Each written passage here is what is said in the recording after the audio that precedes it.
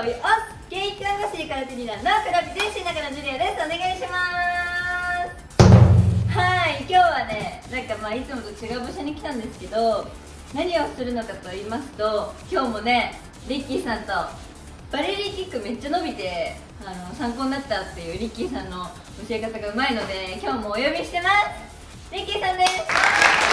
おはようございます。おはようございます。じゃあ今日も早速ね技を教えてもらいたいと思います、おはいったら回し蹴りだと思うんですけど多分私たちって回し蹴り絶対こう寸止めして顔面とか振り抜いちゃダメなんですよ。えなので多分極真だとやり方が違うと思うんでー、そうですね多分。ちょっと違いますね多分。やり方を教わりたいなと思って今日は上段も蹴っていいんですか？上段のキックは基本的に倒して OK なので、へ当ててじゃあ上段回し蹴りの伝統派からずのやり方と極真のやり方をはい。やっていきたいと思います寸止めはでおーパーンって蹴ってもはいはいはいでそれが顔面にこうこのぐらいこのぐらい当たるとポイントになるっていうこれちょっとでも頭こうこうなって頭の首がボンってなっちゃうと、もうそこで警告とか反則とかなっちゃうんでではい得点にはならない。ああ手でね。そうです。これで。パンって当たっちゃった時に初めてポイントはいはい。になるって感じああなるほど。はい。蹴る場所はどうなんですか？足のまあ当てるの。はこうこうですね。全面的に、はい。結構前の方ですか？前の方ですね。あそうなんだ。軽く当てなきゃいけないんで前の方で。ちょっと前の方で、はいそうです。へえ極真空手の、まあ、上段回しって、まあ、いっぱい種類があるんですけど、うん。その中でも今回倒す上段回し蹴りを、まあ、ちょっと教えたいと思います、はい、で倒すために大事なのってやっぱり相手の脳をあの揺らして、まあ、気絶させないと、まあ、倒すことができないんですね。脳を揺らす。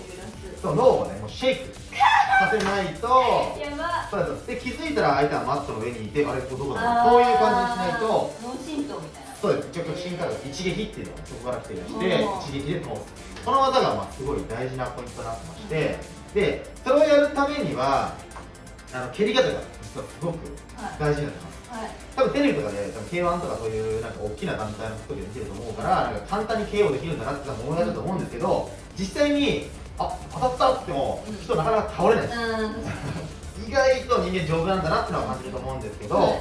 で今日その中の、えー、上段回しの蹴り方をちょっと紹介していきます。でじゃあ一回これ持ってもらってもいいですか？出たよー出たよどうやって持つんで入れてもらって、ね、はい。やだ。どないですか？じゃあやだ。そうですね。でじゃあまず軽く普通に蹴りますからね。でしっかり顔に来ちゃうんでしっかり止めてくださいで上段回し。もちろんこれでも効くんですが普通の上段回し切りって普通に斜めにこう蹴り上げちゃう。うん。こういう蹴りなんです。よこれって頭少しずらしただけでもかわせちゃう蹴りなんですよ、なので実際にはここから膝を。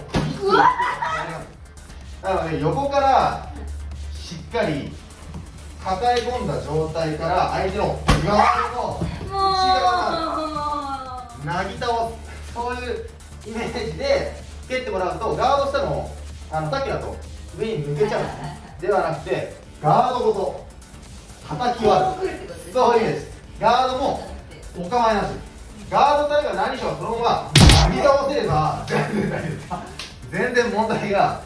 ないので膝をグリッとああなるほど。横から引っ張るようなイメージでやるとダメージが全然違う。うーんかっこいい。そういう蹴り方をしたかったんですよ。あ、本当やっぱ伝統派の蹴りって綺麗な蹴りが多いからこれじゃすがいかないよね。そうです。私はこういう蹴り方の方が好きなんですけどなあー。かなかうまくできなくて。教はいはいはい。えてくださ OK で今回これをやるためのポイントって何が大事かというと膝の高さなんです。いはい。膝低いとどう考えても膝入れられないんですよ。はいはい。最初からなるべく高い状態を保てる、その状態から回して膝の高さを変えるその状態で膝が正中線を越えたらへんから膝を伸ばしてもらう勝手に蹴る方向が入ってきますよ。ああなるほど。これねこうさあ膝が越えて蹴れるからスナップでつなぎ倒し。正中線を膝が超える。超えないといけないと、ここで蹴ったらそれは浅いじゃんああそうやそうやそうやね、これがここまで来るとどう考えてもバチンとここまで来てもらえるので。そうそううまいそうさすがへー。さすがですさすがです。膝を高く外から回し込んではい。抱えたのを蹴って戻しはい私たちの空手って相手に悟られないようにする。それとフェンシングに入ったら終わりなんで、はいこう上げて、はい。はいこっからはい。こう切るんですよ大体。おおはい。こうやると分かっちゃうからはいはいはい。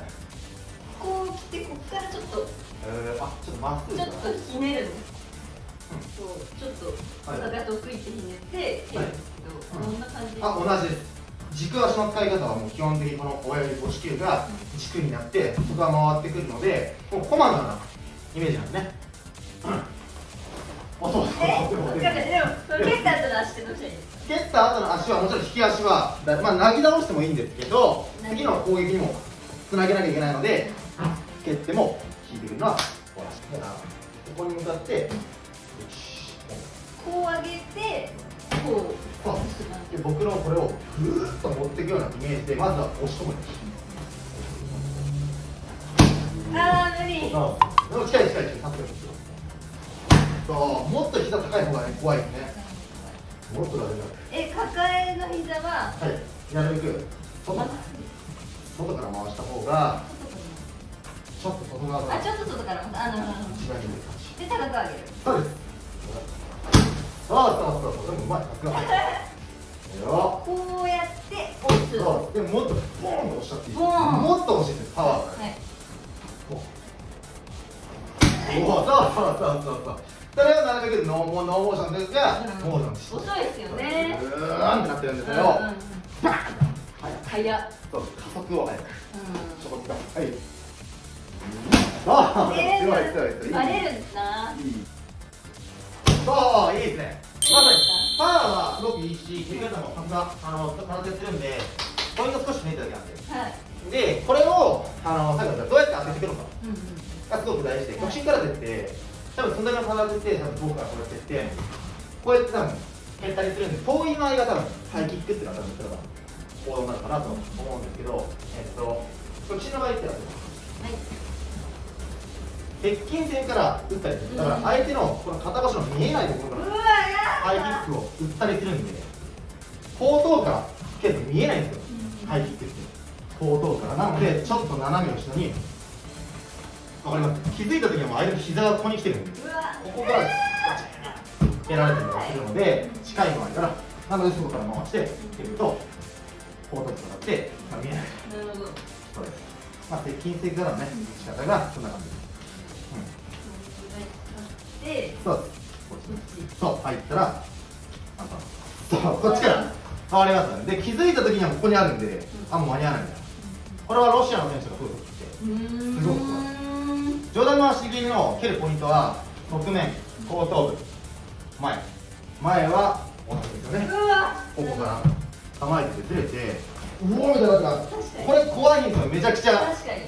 これはね合わせない。なんでこのね3パターン。横から蹴るのか後ろなのか正面から蹴るのかみたいなこの切り分けだけでも全然当て方が変わってくるのでぜひやってみてくださいはい、ありがとうございます。か。っこいい。え、なんか、はい。膝をまず高く上げるっていうはい鍛錬が必要かも。なんか慣れてないとやっぱ遅くなるし、いかあーにこういかに膝を早く持っていけるかの練習を続けてからのこう振り抜く練習みたいなのを、でもやっぱり肩やってるんでやっぱ止め方とかすごいうまいんですよ全然多分すぐすぐできてるっていうか えー、かっこいい。ありがとうございます。はい。今日は上段回し蹴りのやり方を教わりました。